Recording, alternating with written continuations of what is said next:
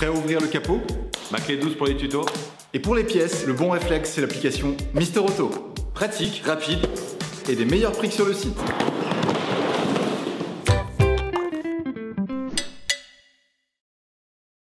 Tu peux retrouver les plaquettes bulk utilisées dans la vidéo en exclusivité sur le site Mister Auto et en lien dans la description. Coupe le contact de ton véhicule, serre le frein à main, tire la poignée d'ouverture du capot et ouvre le capot.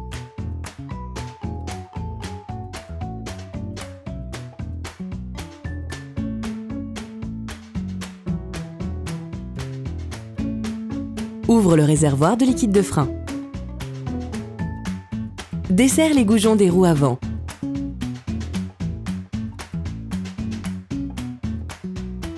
Soulève l'avant de ton véhicule. On te conseille tout de même vivement de visionner notre tuto Soulever son véhicule en sécurité avant de réaliser cette étape. Pose le véhicule sur les chandelles. Afin de réaliser le changement des plaquettes sur ton véhicule, il est nécessaire de retirer les roues pour avoir un accès complet.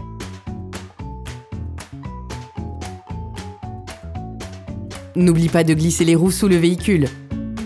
Oriente le disque vers l'extérieur, cela te facilitera l'intervention. Insère un tournevis plat à l'extrémité extérieure du trou oblong situé sur l'avant de l'étrier. Fais levier à l'aide du tournevis en tirant vers toi. Cela a pour effet de faire rentrer le piston. N'hésite pas à reprendre la prise du tournevis en l'insérant plus profondément une fois que l'espace entre la plaquette et l'étrier le permet. Assure-toi d'avoir rentré au maximum le piston avant de passer à l'opération suivante. À l'aide d'un cliquet et d'une douille de 14, débloque les deux vis de colonnette. Il arrive qu'il faille empêcher le contre-écrou de tourner en le maintenant avec une clé de 17.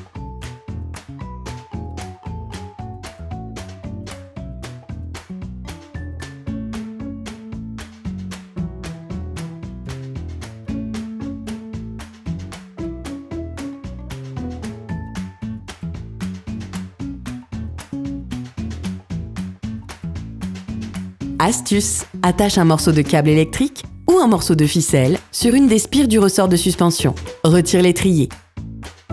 Pour éviter d'abîmer le flexible de frein, attache l'étrier à la suspension à l'aide du câble. Retire les plaquettes. Pour ce faire, fais-les coulisser en les éloignant du disque. Tu peux t'aider d'un tournevis.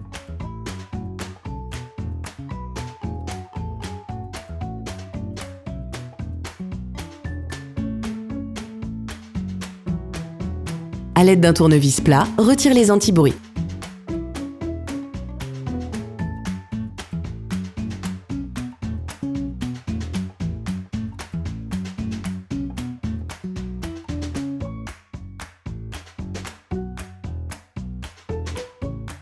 À l'aide d'une brosse métallique, nettoie la chape aux emplacements des plaquettes. Cela facilite leur repose.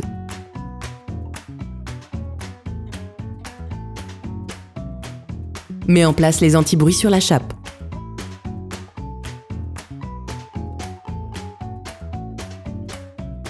Bon, les gars, si on peut vous proposer cette vidéo et vous permettre d'économiser de l'argent, c'est aussi grâce à notre partenaire, Mister Auto.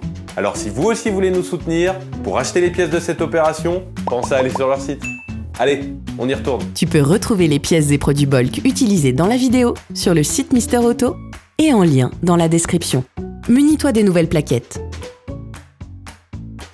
Enduis l'extrémité des nouvelles plaquettes avec de la graisse cuivrée.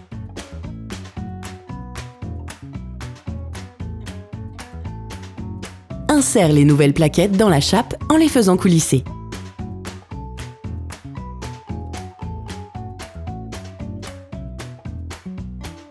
Remets maintenant l'étrier en place et revisse les vis de colonnette.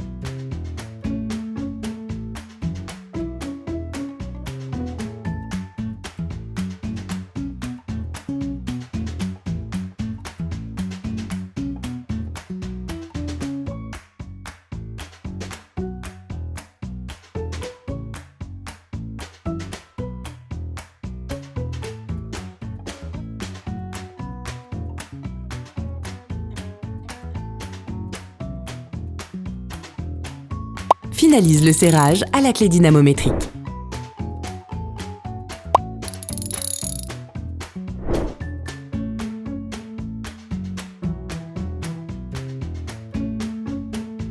Nettoie les deux faces du disque avec du nettoyant frein et un chiffon, afin de retirer la graisse déposée lors du montage des nouvelles plaquettes. Tu peux maintenant réitérer l'opération de l'autre côté. Ensuite, tu pourras remettre en place les roues de ton véhicule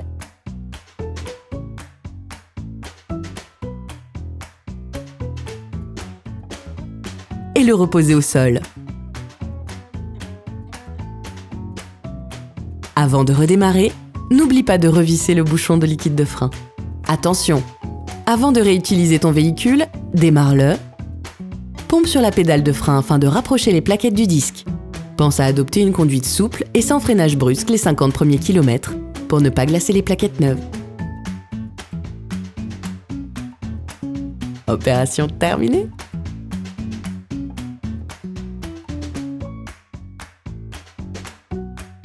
Salut, c'est Théo de ma clé de 12. Bon, vous êtes seulement 6,5%. non, plus sérieusement, on a besoin de toi pour faire rayonner la chaîne. Il suffit simplement que tu mettes un like et que tu laisses un commentaire. Et surtout, s'il te plaît, tu t'abonnes. Tu peux pas t'imaginer comme ça va nous aider. Ça va nous permettre de produire encore plus de tutoriels et d'aider plus de monde. Allez, bisous